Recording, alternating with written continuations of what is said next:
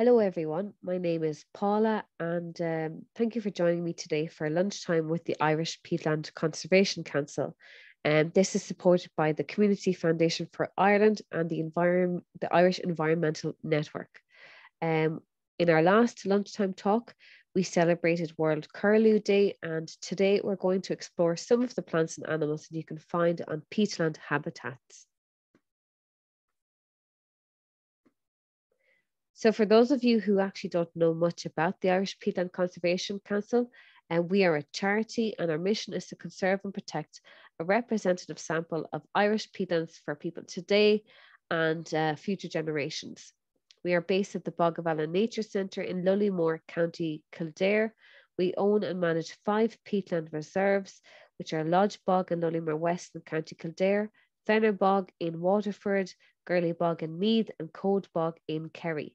Um, our work includes a lot of different areas such as site conservation, the monitoring of species, peatland policy, research, education, and awareness. The Save the Bogs campaign is guided by peatland uh, conservation action plans. We have developed seven so far since its foundation in 1982, and the latest action plan is called Peatland and Climate Change Action Plan 2030, which should be read in conjunction with the Peatland and Conservation Action Plan 2020, halting the loss of peatland biodiversity. If you'd like to learn more or purchase our latest peatland action plan, you can go on to our website at www.ipcc.ie. So peatland biodiversity, there are over 600 different types of plants and animals that can be found on bogs in Ireland and uh, they are especially adapted to the wet, acidic, or alkaline habitats, habitats which are uh, open environments. Today we learn about some of the most common species. Um, okay, so beginning with the plants, uh, this is just a typical overview of some of the plants you might find on a raised bog. Um, the plants are uh, adapted to the acidic environment. You can find at least eight um, common species of sphagnum moss. And on the drier areas, you'll find the likes of heather, and in wetter areas, you'll find uh, common cotton grass. Blanket bog vegetation is similar to that of a raised bog. Um, so for a mountain blanket bog above 200 meters from sea level would be, uh, you find ling heather, crossleaf heath, and bog rosemary. And uh, on Atlantic blanket bog, it's more grassy in appearance. The Atlantic blanket bog is between zero and 200 meters above sea level. Uh, you typically find purple moorgrass, bog cotton, and deer sedge. Uh, and generally, you would not find uh, bog rosemary and cranberry. Fen vegetation is typically richer um, due to the influence of groundwater and springs. Uh, the dominant uh, plants you'd find along the surface are black bog rush, saw sedge, common reed, and pur purple moorgrass. In the drier wooded areas, you'd get a lot of uh, sedgy vegetation.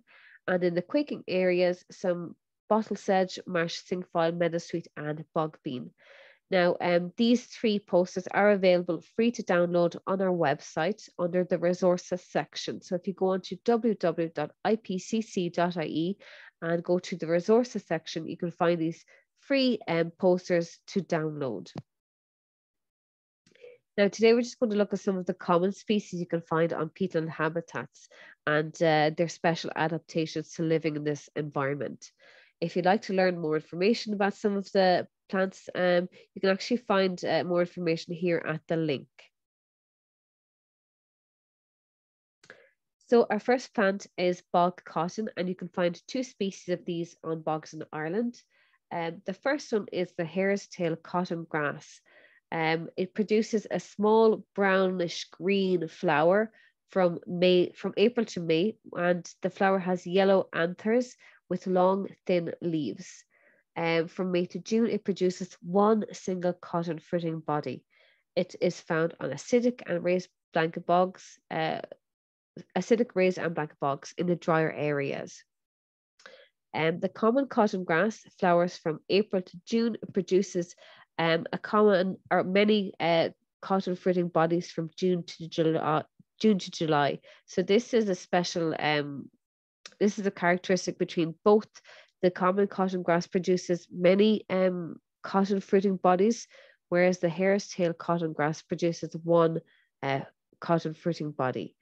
Um, the common cotton grass, again found in similar habitats to the hare's tail cotton grass, it has long, thin leaves, which are typically between two to five centimeters wide, and they are tinged with a reddish color. Uh, you'd find it in, in, the wetter areas as well, so in the likes of bog pools. Um, now, in the past, both species were used to stuff pillows, so they would collect the, the cotton fritting bodies and stuff their pillowcases. Now, it does have special adaptations to living on peatland habitats, which are very nutrient poor typically. Um, so, especially in raised blanket bogs. Uh, in the winter time, um, it dives back and it stores uh, the it stores food in bulbs underground. It is known as the um, bog snorkeler because it has deep roots which can reach up to 60 centimeters into the peat, and this allows it to um, you know access nutrients further down in the peat. It has these special tissues uh, with air channels called aerenchyma that allow for the transfer of gases such as carbon and oxygen from the tip of the plant all the way down to the roots. Uh, it has these long, thin leaves, which are specially adapted to conserving water, which um, help it to reduce the loss of water essentially uh, by reducing evapotranspiration in hot weather. Um, our third uh, plant is sphagnum moss, and sphagnum moss is a peat forming plant. All species are protected under the European Union Habitats Directive. You can find up to 24 different species of sphagnum in Ireland, and you'll find them on fens, raised, and blanket bogs. Now, in the image here, the very tip of the sphagnum moss is the living part, and everything beneath that is peat forming. Um, it has these specialized hyaline cells which allow it to store up to 20 times its own weight in water and it grows one millimeter each year. Uh, another adaptation is a special ion exchange mechanism. So uh, essentially, it exchanges hydrogen ions for calcium, which creates acidic conditions, uh, and it makes conditions more acidic for it. Um, a fun fact: so sphagnum moss was used in World War One for its antibacterial properties to treat wounds. So this is the ion exchange mechanism. And by creating acidic conditions and an, an acidic pH, it actually doesn't allow for microorganisms to live. So therefore, um, microorganisms or bacteria will not grow on wounds. And um, also, it was used in World War One. Um, it was used to create a bandage to treat these wounds as well. Uh, our next plant is bog bean. And this is a wetland plant found in shallow water areas such as fens, bogs, and canals. It has these white pinkish flowers, um, which are star shaped and uh, borne on short creeping stems. Each flower has five petals with tiny hairs on the edge. It has three leaves that are hairless, which can be seen above the surface of the water. Um, it can be seen in flower from March until June. So if you have um, a peatland or a water area nearby, you might pop down to have a look and see if it's in flower in your area. It can be found in both alkaline and acidic water. Um, so our next plant then is sundew. Um, and today we're going to learn about the round-leaved sundew. So it is an insect-eating plant. Um, it has spoon shaped leaves with over 200 tentacles. And at the end of these tentacles is a sticky glue like substance, which is used to trap insects. Um, now, the leaves then roll over once it's caught uh, an insect or a fly, and um, it breaks down the fly and absorbs the essential nutrients it needs to grow. And that's a special adaptation to living on nutrient poor habitats. Um, so again, it, it is found on peatland habitats, but it only grows on peatland habitats. Uh, it can be found growing on the surface of peat or on sphagnum hummocks. It has shallow roots, and in the wintertime, it will actually hibernate to avoid freezing. So that's another special adaptation uh, to stop it from freezing in the wintertime. Now, you will find it emerging slowly on the bog at this time of the year. So if you want to pop down and have a look at that, um, it's just coming out. It produces a small white flower from July until August. Um, another interesting fun fact about the sundew is that it was used to treat illnesses such as coughs. Now, moving on to our um, uh, animals that you can find on the bog. And we'll begin with the common frog, which is the only species of native frog in Ireland. And it is found on various habitats, um, such as hedgerows uh, and uh, especially bogs.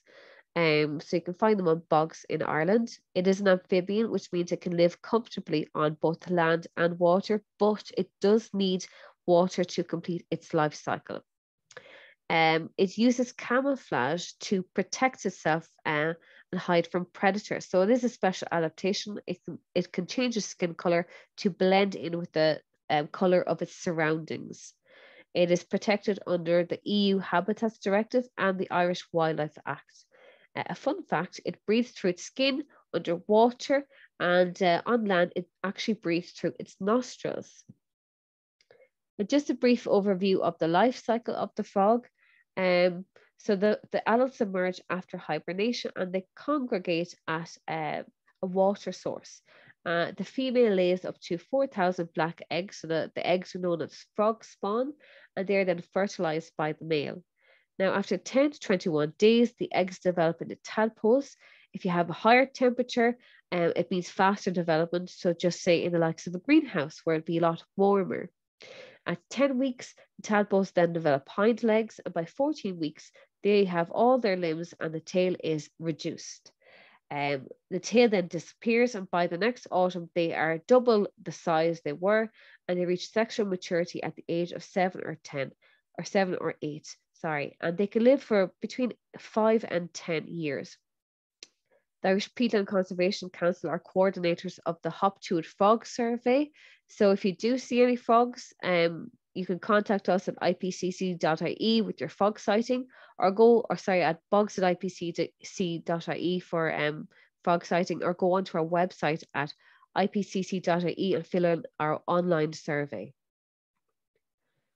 The viviparous lizard is our next um, animal um, and is a it is our only true native reptile and it is very common. So you can find another reptile called the slow worm.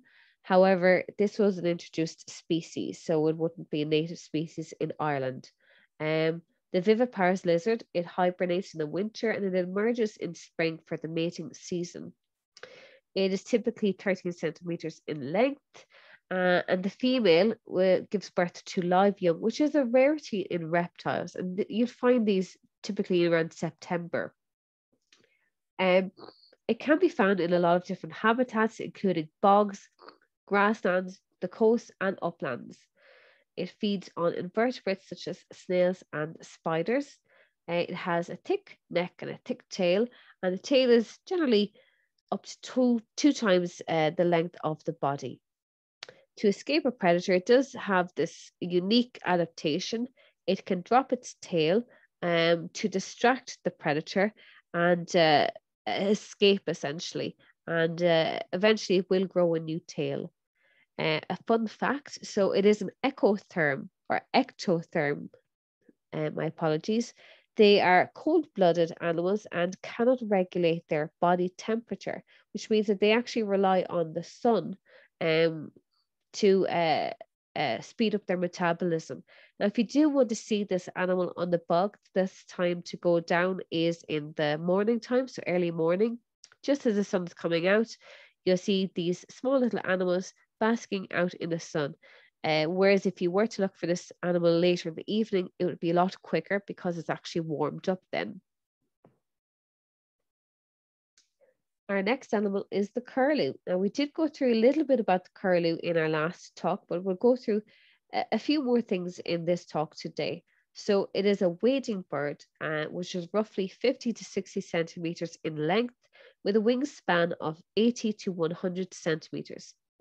It has a, a mottled grey-brown plumage with long, thin bluish legs and a long downward curled beak. And this beak is specially adapted to probing uh, insects and freshwater insects, which can be found on bogs and in bog pools um, uh, in Ireland uh, and uh, uh, many other countries. Um, so it can be found um, on the coast in Ireland during the winter times. Um, but from March to July, the Irish population actually move inwards and typically feed or breed on bogs and grasslands where there is a supply of food. It is a ground nesting bird, uh, and between April and June, it lays a, a clutch of three to four eggs, um, with the chicks hatching from May to June and fledging by mid July. Um, so again, it is especially adapted to the bogs in the fact that it breeds on the ground. Um, it is protected under Irish and EU law um, due to the rapid decline in the breeding population. So it's estimated that there is less than 138 breeding pairs of this bird uh, of the Irish population left in Ireland. Uh, and you can see here, this is an image of the great diving beetle. So just an example of some of the inse insects it would be probing in bog pools. Moving on to the Irish hare. So um, hare live on bogs, but rabbits don't. Why not? And this is a really interesting thing. Um, so a hare can live on a bog because it doesn't actually dig a burrow like a rabbit did. Uh, and that's a, a, unique thing to to this habitat as well. It has, if a rabbit was to live on the bog, it would dig a burrow, but the burrow would fill up with water because uh, a, a bog is actually a wet habitat. So that's why you find hare, but not rabbits. Um, the fur is um, grey brown in winter and uh, reddish brown in summertime. Um, this helps the animal to hide amongst the peatland vegetation, and the females are typically larger than males. So the females can be between 3 to 3.5 kg, and the males between are, are around 3 um, kg. It is herb herbivorous and it feeds on heather and bog cotton. Um, the mating occurs in March, where hare can be seen boxing one another. Uh, a, an interesting fact about the hare is that in the wintertime, if there is no food on the bog, the hare are known to actually eat their droppings because they have a different digestive system than people do, and they don't initially absorb all the nutrients in uh, when they eat uh, the plants first, and so therefore they go back to their droppings and they can eat the droppings again and reabsorb those nutrients. Dragonflies. So um, there are 30 species of dragonflies found in Ireland, and you find these typically around freshwater habitats.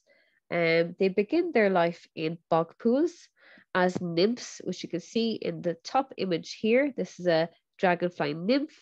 Uh, they can spend or they can live for up to five years of their lives as this uh, nymph in freshwater habitats. The nymph has an exoskeleton, which means it has a skeleton on the outside of its body. And in order to grow, it actually molts. So it might molt up to eight times. Um, after three to five years, the nymph emerges from the fresh water and it will crawl up onto um, the vegetation and it'll undergo metamorphosis.